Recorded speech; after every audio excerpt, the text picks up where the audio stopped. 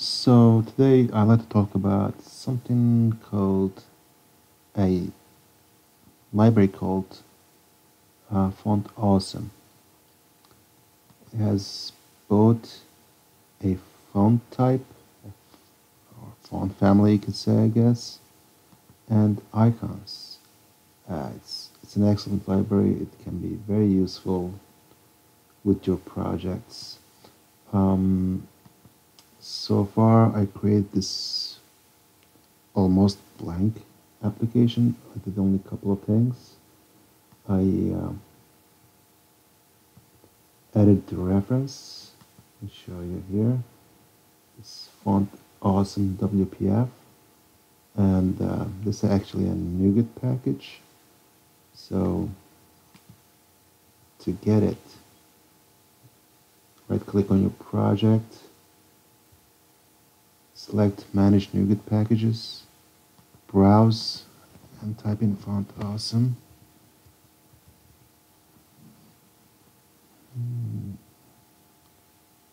And this is the one you select. Font awesome WPF dot WPF. Since I have already installed it, the only option I got is to uninstall. So that after doing that, next thing will, will be bringing this namespace in. Uh, let me remove this and bring that in again. FA HTTP, that's an HTTP namespace. So as you type in H, the first one will be um, the correct option. Okay, so we have our reference, we have namespace, and we have a couple of grids and a couple of columns and two stack panels, one on each column. Right, let's create our first font awesome element.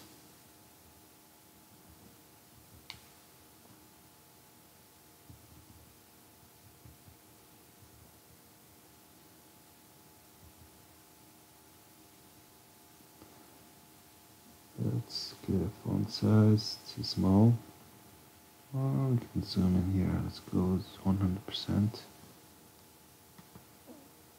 still too small. Let's increase the font size. Go with um, 30 Alright, so that's the font that's basically behaves like a text block okay? You still can do the binding in here if you need to but um,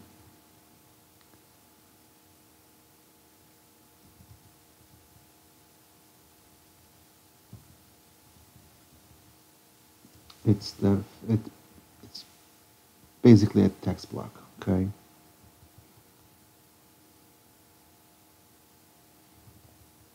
mm. all right so that's that. Um, there's also uh, the option of to use this as an icon. Let's say, um, let me change this to FA so you can tell the difference. So that's a text block, right?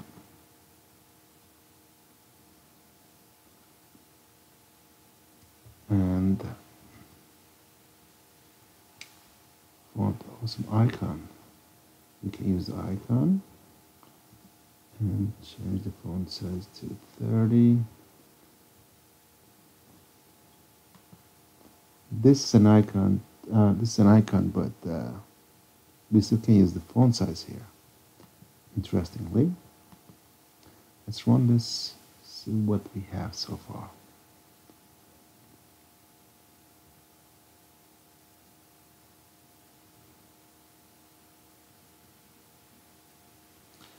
So as you can see, this is just a text block and this is an image, an icon, okay? So that's the difference between the two.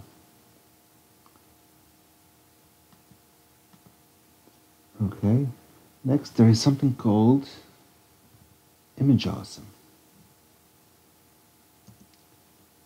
This one is an icon too, but it behaves like an image. Um, let's say YouTube.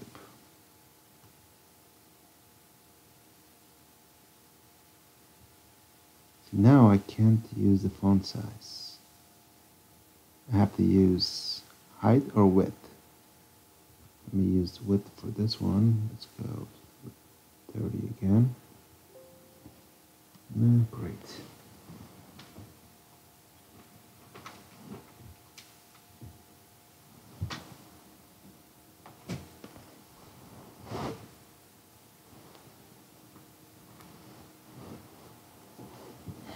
Okay, let's plug it in.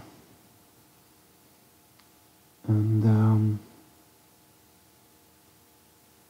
let's close this. So I got the YouTube icon. I can change the color. I believe it's still foreground. Red. And there you go. That's your icon for YouTube using Font Awesome. Um, what I can do with it? I can use these as an inline for a label content, for example. I can say font awesome content and this is going to show me the whole list of the icons I can select from the list. Say, um, let's go with, um, I don't know, Wi-Fi. Again, let's give it a width 30. So again, once we do it as an inline, just behaves like this one here. We don't get design time image, okay? Let's run it. I mean, it has its use cases, something to be aware of. You got the Wi-Fi icon in there.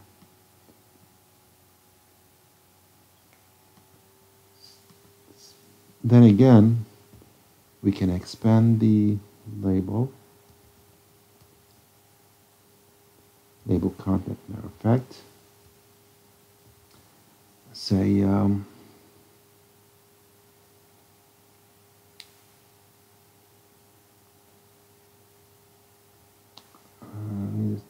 stack panel in there. Let's give the orientation of horizontal. And let's stick in a uh,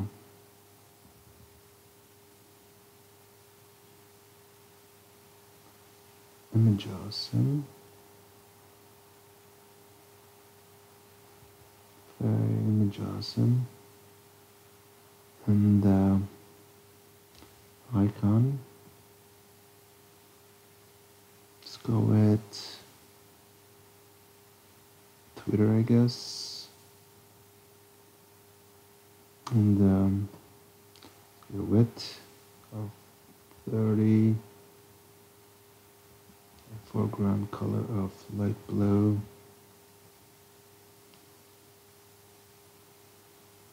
And let's add a font awesome text block.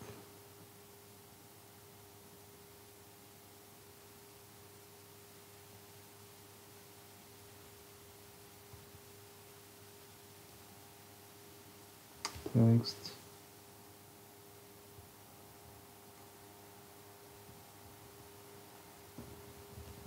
Twitter. Font size 30. All right. So that's that. Let's do similar thing with the with a button.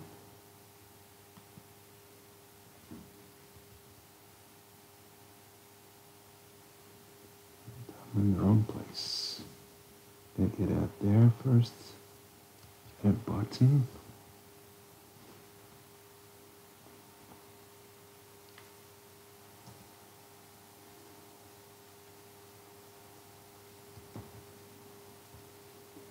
And um, expand the button content, stick in a stack panel. Mm.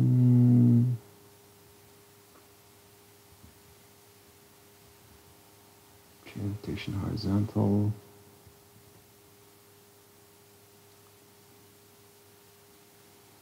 And let's make this, I guess, Apple Pay.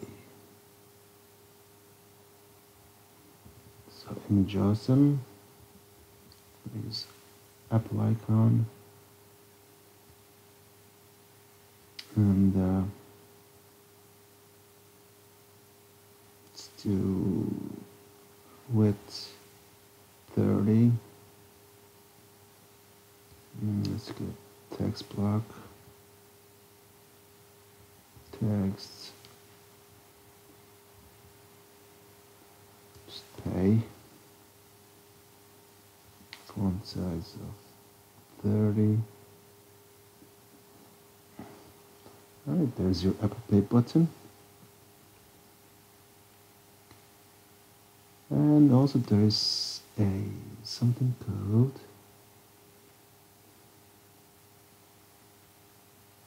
well, it's not really something called It's uh, it's a feature. It's spin feature. Say uh, image awesome. Spin, spin. No icon. Let's set the icon first. Spinner. um, spin it true uh, spin spin duration oops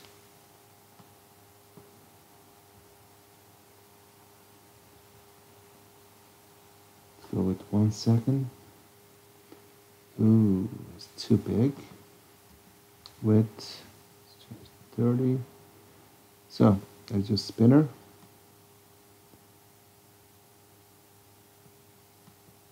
Um, so this is one second. Every one second does one turn. Can increase this to slow it down. No, it's every three seconds, one spin. Um, you can apply this to any image. Let's create another button, for example.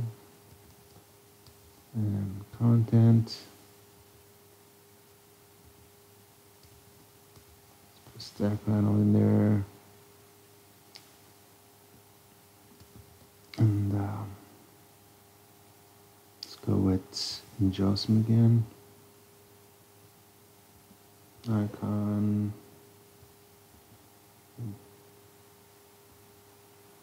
Mm, Bitcoin, I guess. Whoopsie.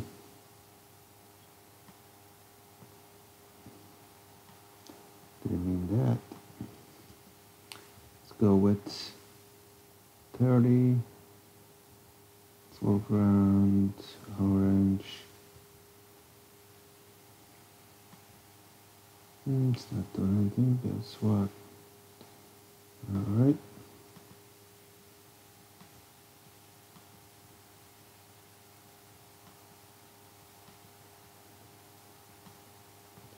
And uh, a text block or 1000 text. Pay mm, let's increase the font size 30 and we can spin this too if you want to mm, let's change this to horizontal again. Do a space here. And let's go spin this one too. Spin true. Alright, so there you go, that spins.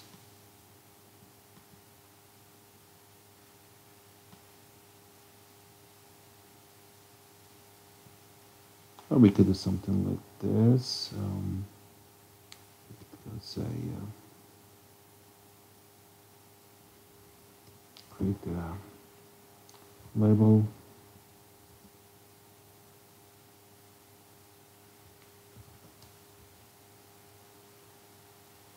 label content.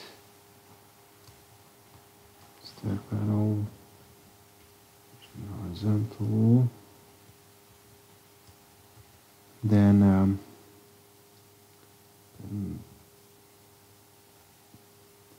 use an image awesome icon say mail. Do we have mail? No. Let's go envelope I guess. Uh, with 30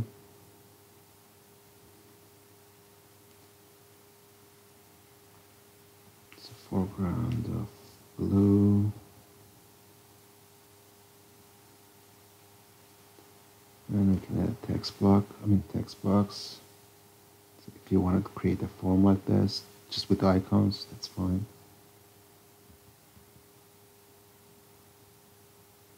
Sometimes if you're short in space.